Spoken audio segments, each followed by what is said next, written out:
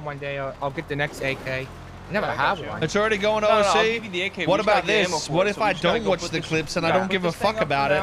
And I just roleplay what my character's brought into, dude. Easy peasy, dude.